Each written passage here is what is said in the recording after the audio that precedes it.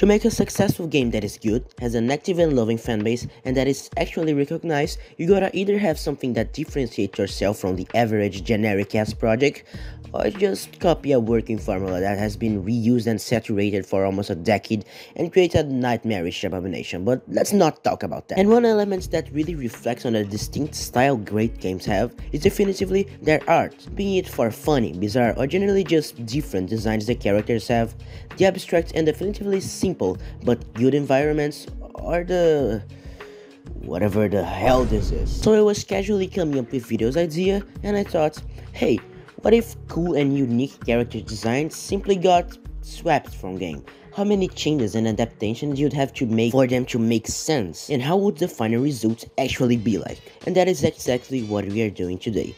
Today, we will recreate indie game characters in Another One style. But before we do that, please don't skip it. Leave a like, a comment, and if you enjoyed this video, check out my other videos and maybe even subscribe.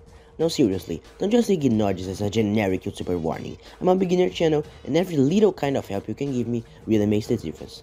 So make sure to watch it to the end and of course, have fun. Oh well. Now, let's do this. So, the first thing I did was to obviously select the games I would draw. So I decided to go on the RPG Maker Classic side of the things, and selected Off, Lisa, Space Funeral, and Undertale. And even though Undertale is an RPG Maker, but it's still an indie game and an RPG. So I decided to do 4 drawings. Lisa in the style of Off, Off in the style of Lisa, uh, Space Funeral in the style of Undertale, and Undertale in the style of Space Funeral. So let me show you guys how it turned out. First, Brad from Lisa in Off. The first thing I did was to look at some references from Off characters. Off is my favorite game of all time, so I thought it would be actually easier to copy its style. But the thing is that Off doesn't have a lot of human looking characters. Most of them have indeed some human characteristic, but Brad was up a normal guy, at least to an extent lol. So I decided to give him a little mask and maintain his clothes that would cover most part of his body. Similar to my Zacharie redesign from a video that I made here where I recreated indie game character designs that you should totally check out if you enjoy this one. It's on a card popping out somewhere at the screen. I also carved holes out of his mask so he could see things. Made this weird looking mouth thing that I considered removing a lot of times but in the end I like. I also gave him some dreads and a little baldness there cause he's fucking Brad. And a lot of friends that I show this question that choice, like why the fuck did you give him dreads?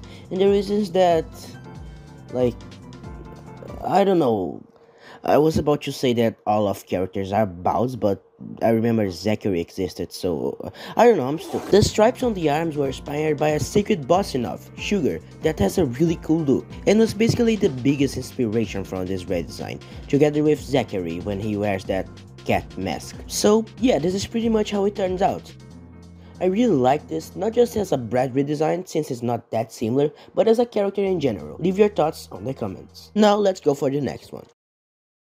Okay, pay attention to this one because if it's not the best one, it's definitively one of them. When I started working on this drawing, I was just doing a normal man, an average NPC on Lisa, but when I got to the mouth, I realized that that wouldn't just work. So the better path to follow was to create something similar to a Joy Mutant. Joy Mutants are bizarre monsters that mutated from regular human beings to these fucked up abominations you are seeing now, thanks to a joy overdose that is a drug. And instead of making that hole on the mouth and the part close to the eyes, I made a face without skin, so just fucking flesh and it turned out scary as fuck. Like normal Dedan, this version had an overcoat, but instead of jeans, I made him wear pants and socks, fuck it. Hey Dedan, nice car. I also made his body extremely distorted and deformed, but not as much as the normal Joy Mutants because I still wanted this to look like Dedan and making him completely loyal to the original game would make it kinda boring. I made some simple lighting and this is how it turned out.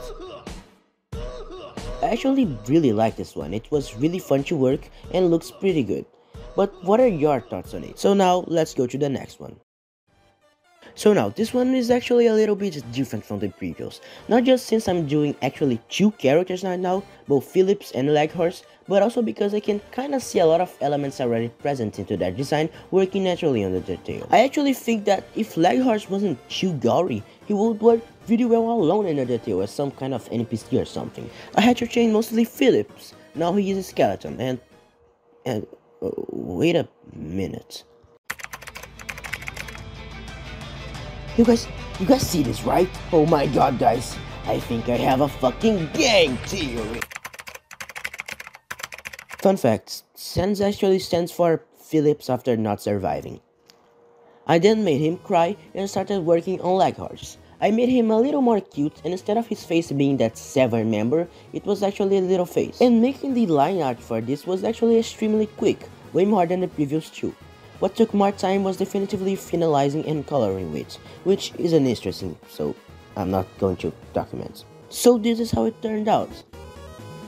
I like this one, it was also fun to do, but now let's see the next one because it's very interesting. Oh and also, if you like the song that play under the background of this chunk of the video, consider checking out my video recreating indie game songs. I am a genius, I pull the references and you don't even see it.